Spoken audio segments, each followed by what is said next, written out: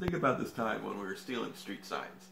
Now, every kid steals street signs. Your kids, they steal street signs. You give them to your girlfriends. If you have a youth group, they represent a certain thing, a word that's special to you. Everybody steals street signs. It just happens. And I happen to be one of the taller kids in my group, and Jeff was taller than me, so we were the sign stealers. It just happened to work out that way when we were like 14, 15 years old. We and in Foster City, we'd get the zodiac signs give them to our girlfriends or friends because of zodiac signs. And you know, you, if you're Taurus, you're Aries, you pick a sign. But anyway, it was no big deal. It's just something we all did. But at one time we had a sleepover. You know, it's like 14 guys taking over Molly's house, and Molly had a good house. She lived in Foster City. Well, we all lived in Foster City, but she had the nicer part of Foster City where they make the streets each a theme. So when you just have like a railing, it's not a railing, it's a rope or a chain that looks like an anchor. This was a nice, nice part of Foster City. So 14 kids take over her house, and at about 7 o'clock at night, a few of us decide to go steal a sign. One of them saw a zodiac sign, Aries or something that they wanted. This time, it turns out, it's on not just a regular street pole where you leap up or get on someone's shoulders and grab it, it was on a railroad tie an 8 by 8 piece of wood that had been there since Foster City got invented 30 years ago. So this railroad tie is this huge piece of wood, and I really wasn't involved in this. Everyone else was. Jeff was taller than me. He was their stealer, and I was just hanging around. And they decided to go for it on this giant piece of wood.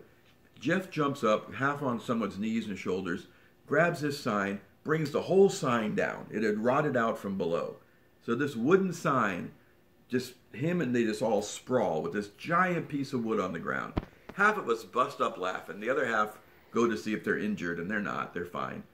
And I, you know, half of us head back to the house. We're like, figure this is a busted run. We're gonna go before the construction crew or someone realizes we broke Foster City. You know, we're just like, we broke. Okay, done. Right? We're done. So half of us are halfway back to the house, trying to remember where the house was. The ones who do know where it is, and I'm following.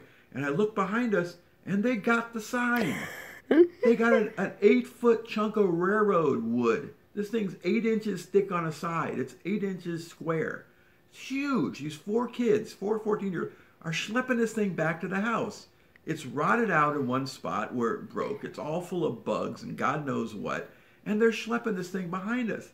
And I get to the house, and there's like 10 of us back at the house. And a couple of us go, you know, like, are you okay? We're like, yeah, I guess we're okay and things are fine. And, you know, we're very lightly supervised at these sleepovers. Like one of the cousin's brother's mother is there. And, you know, they let us kind of have the run of the house. And they come trotting in, four guys carrying this giant, disgusting piece of wood into this very nice house, living room, that they're all proud of. Like they conquered this street sign. And half of us are going, get this thing out of here.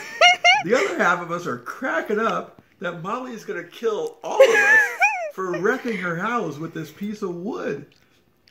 I can't even remember what the hell happened to it. I guess they got it. Didn't they must have put it down in the kitchen or something, and then somehow or other, someone's got it out the back door, and it disappeared into the yard.